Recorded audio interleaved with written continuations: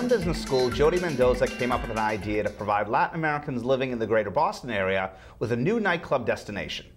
Even before graduating, she found downtown space to rent and successfully navigated a partnership agreement. But that all seems like ancient history as her vision, Mojitos Nightclub, has not only come to fruition, but has also already been operating for eight years. Now, Jody believes she's in a position to do even better by creatively renovating her back of house or behind the scenes space, adding food facilities so she can begin serving tapa style lunch. She's well aware yet undaunted by the large number of choices already competing in the Boston luncheon scene, yet still believes she can add great value. Jody, welcome to the Language of Business. Thank you. So, when did you first open Mojitos Nightclub, and how have things changed operationally over the years? We opened Mojitos in 2005, and things have uh, have changed very, very much. We started off as more of a you know, friendly with the staff, kind of a casual business environment, uh, almost a mom and pop feel. Sure. And then we kind of graduated and grew into a more corporate, a lot more rules, a lot more regulation, and we found that rather than to keep people back that really allowed them to thrive more. Would you say that the nightclub is running well now operationally? And at what point since 2005 did you wake up one morning and say, we got it, or at least we're moving forward to saying we've got it. Well, I'm very happy with where it is right now. Um, I would say, and this is looking back. Sure. At the time, of course, um, you know, you always think you're doing quite well. Right. And then it's I amazing was, how that happens, right?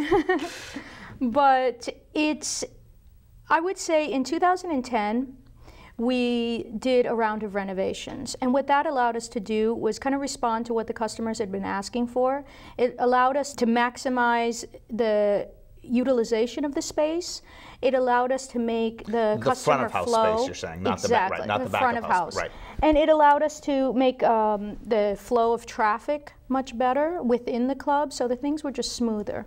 And it was just a better experience. But let's talk about the customer counts for a 2nd Mm-hmm. How do you get customers, albeit on multiple levels, which I've sort of found out in preparation for our interview, how do you control them without offending them given that this is an entertainment venue? That's a really interesting point. And because of the type of business we have, there are so many rules and regulations that we need to follow. So what we have to do, we have to kind of approach it in a couple different ways. The first is we have to make sure that our staff are very well educated. And they're well educated in terms of how to communicate When with you say people. well educated in terms of work in college or in graduate school, No. or well trained and well educated in the ways that you do your thing? Exactly. Well educated in the sense that they need to be able to communicate our message, they need to believe in what it is that they're saying, and they need to be able to say it in a way that when patrons come in, they're not going to feel offended that they've been redirected. And there's also a certain amount of education in terms of the customer, and that comes through marketing. So the customers know when they come in to Mojitos that they're going to have maybe a little bit of a longer wait outside maybe a few more rules and regulations that they might experience at another place, but the overall experience is well worth the extra effort. So the education, the training that you put your employees through, is it used on gut feel? Is it based on some widespread accepted management approach? Help us to understand and our viewers to understand how you sort of get it from your head into the employees' ears. Um, of course, I I take bits and pieces from everything from Right. from the you know the experience I got learning at Boston College, Yep. um, but also just the experience I have in the business is largely what drives it. So that you understand how far you can, what you can expect of your employees. You understand how, the limits of what you can push them. You understand what customers are willing, where their limits are as well, so that you can still maintain a very positive and great experience for them, but still be able to comply with all the city rules and regulations. You're watching The Language of Business. I'm Greg Stoller, and we're talking with Jody Mendoza, who has renovated the building which houses her current business and creatively updated it so she can start a second company within it. How has your expansion into food gone, and when and why did you decide to expand in this fashion? Well, we really just reached maximum capacity. From the nightclub perspective. From the nightclub right. perspective. You know, there's only a certain number of nights that people want to go out and Right. have a nightclub experience. So I take it you're not open seven days a week. We are not. Okay. So we were just open pretty much three, sometimes four nights a week. so I assume it'll be Thursday, Friday, Saturday, maybe Sunday. Exactly. Yeah.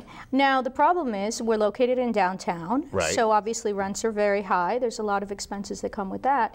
At the same time, we have a gorgeous space that's completely underutilized. It's open with you know, closed for business, but it's just a wide open, beautiful space, and we really wanted to get and you're not only talking Monday through Wednesday, you're talking during the daytime hours as well. Exactly. Okay. So, how different are the skill sets and the knowledge base to go from nightclub management and making it run well, taking a phrase from you, into tapas style lunch?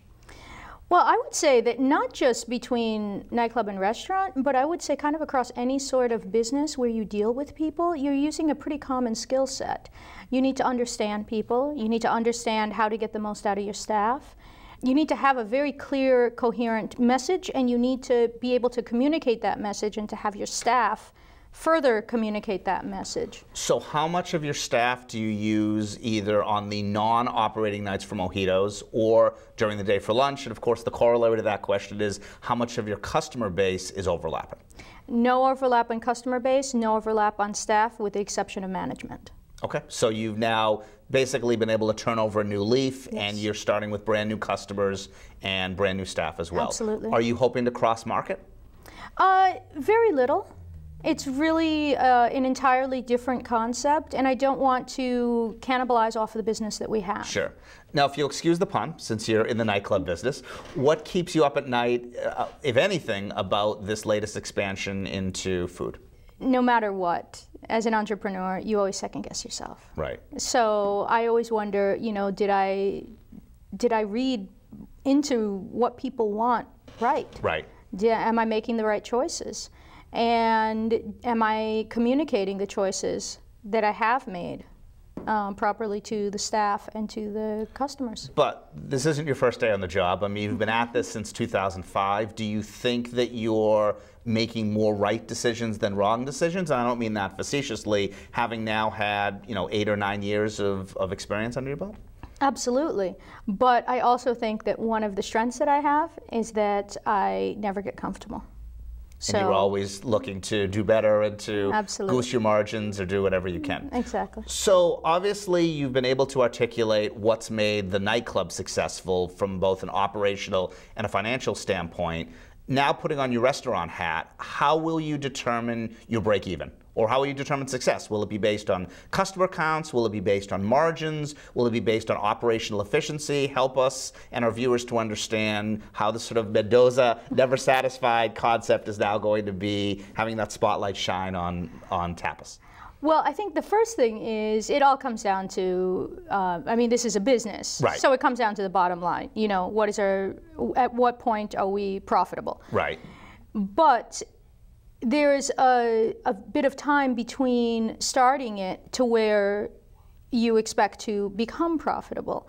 And I would say all of those other things you mentioned are things that give me a higher tolerance towards that. Um, making it all worthwhile that time between starting it and actually gaining profitability then you're worried about well you know what about our brand overall? How are you know are we you know maximizing our So what you're saying is you might be able to accept six months, even nine months of losses, knowing that you're going to come out stronger on the other end because you have to start somewhere, et cetera. exactly. And because because it is a supporting business to the other business then there is a higher threshold uh, the higher tolerance You can use the profits from one to subsidize the losses of the other. Are you sorry you didn't do this three years ago?